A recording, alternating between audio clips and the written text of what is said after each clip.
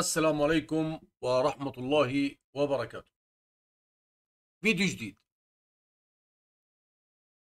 الفترة الماضية كان في انقطاع للأدوات في أدوات توقفت في أدوات اشتغلت بخصوص أدوات الآي كلاود. وكان كثير ناس تسألني إيش الأدوات اللي شغالة وشو اللي ضلت شغالة وشو اللي ما ضل شغال. في أدوات طلعت من الخدمة في أدوات ما زالت تعمل. فرح نبلش بسلسلة فيديوهات ابتداء من هذا الفيديو نعمل فيها فيديوهات للأدوات اللي شغالة دائما بدك تتابع مع الأدوات إنها شغالة أو متوقفة. من خلال فيديوهات راح ننزلها دائما باستمرار. يا ريت بالبداية إذا ما كنت مشترك بالقناة تشترك بالقناة وتفعل زر الجرس حتى يوصلك كل جديد. آه، اليوم عندنا ايفون 7 على آخر إصدار. لغاية تاريخ 21 7 2025 اليوم راح نفتح الاي كلاود بأداة أف دبليو رام ديسك. طبعا هاي الأداة أداتي خاصة إلي. شرحتها في فيديوهات سابقة. هاي شرح هاي شرح هاي شرح. يعني في كثير شروحات. زائد شرحت أدوات ثانية.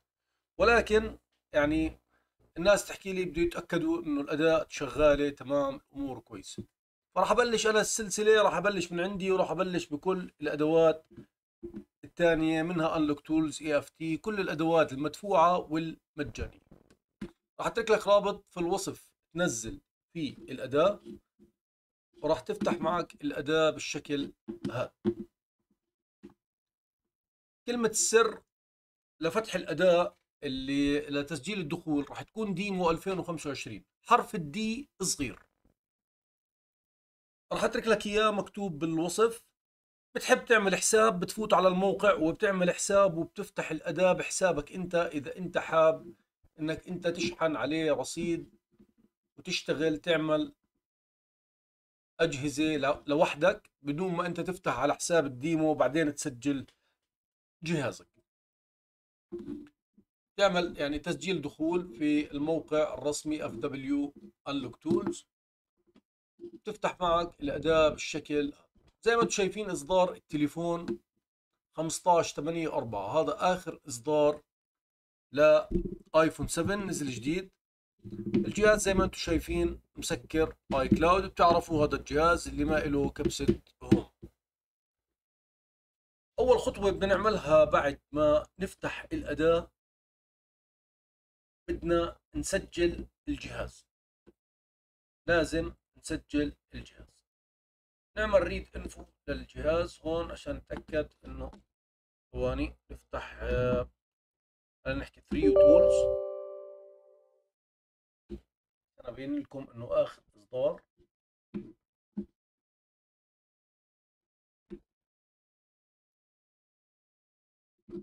هذا هو آخر إصدار.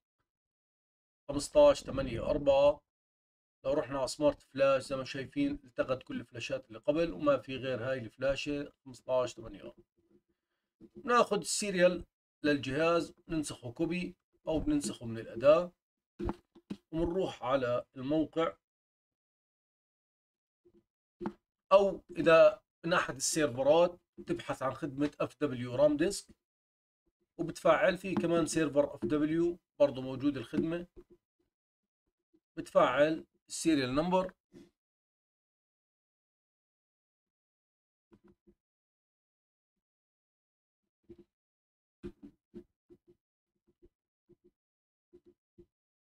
هيك بنكون فعلنا السيريال نمبر بعد ما فعلنا السيريال نمبر الآن الخطوة اللي بعديها بدنا نبلش شغل على الاداء أول شيء بدنا نروح نتحرك لخيار الجيلي بريك اللي هو هذا الخيار بدنا نستعمله ولكن بعد عمل جيلي بريك. لو فتنا على خيار الجيلي بريك والآن الجهاز شغال. هاي مشكلة بتصير عند الأغلب إنه بحكي لك ما بيطلع لي أي إشي. فأنا الآن عندي نفس المشكلة ما طلع لي أي شيء شو بعمل؟ باجي مباشرة بعمل بكبس على الإغلاق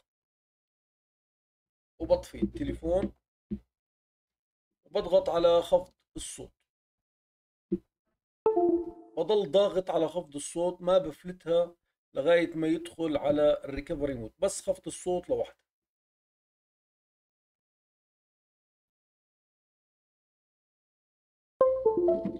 دخل على وضع الريكفري.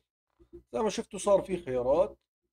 بنزل على الخيار الأخير اللي هو 15 ل 17 وبعطيه التالي. هون بيعطيني إنه لازم أضغط على خفض الصوت مع الباور مع ستارت عشان أدخله بوضع الدي اف يو مود بضغط التالي وبضغط الزرين. بعد ما يصير صفر تسعة ثمانية بفلت الباور وبضل ضاغط على زر خفض الصوت لوحده. وبفلت كل الأزرار.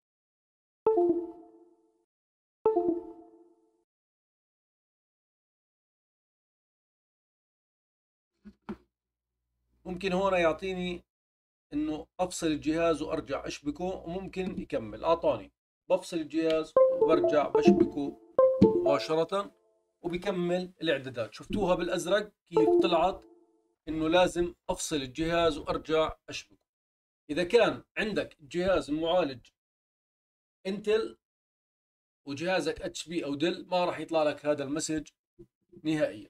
الجهاز اللي كنت أشتغل عليه قبل كان المعالج تبعه يدعم فما كان يطلع هذا المسج نهائي.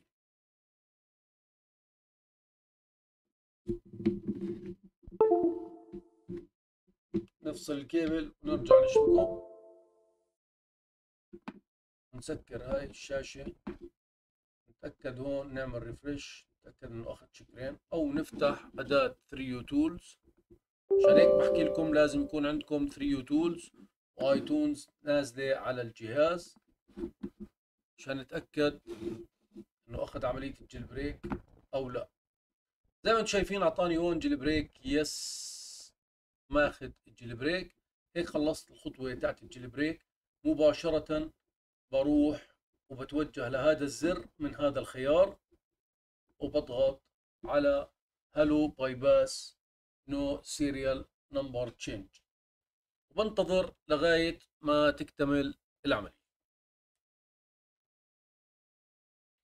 طبعا هاي الأداة لو طفيت الجهاز شغلته ما برجع بسكر تقدر تشغل عليها حساب اي كلاود بدون أي مشاكل. طبعا ما بتقدر تنشئ حساب جديد على أي جهاز أنت عامل له تخطي. تقدر تعمل الاي كلاود على جهاز ثاني أو تشتري اي كلاود جاهز أو تشغل حسابك اللي عندك مباشرة. أما إنشاء حساب جديد ما في. اللي بيحكي لك بزبط أنا بعطيك المعلومة النهائية ما بزبط نهائيا. فلازم أنت تنشئ آه، آه، تشغل عليه اي كلاود منشأ مسبقا. على جهاز آخر.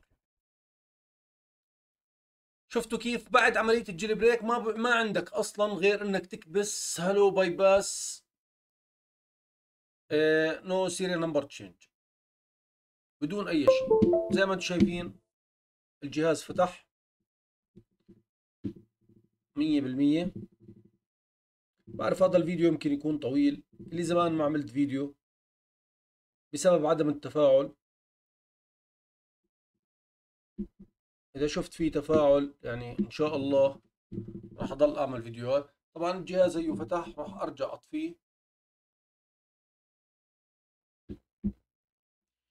وأرجع أشغله. عشان في ناس تحكي لي بعد ما تطفي الجهاز ونشغله برجع بسكر عشان تكون المعلومة صحيحة للجميع يكون الكل مطمن. راح أعمل هيك في كل الأدوات.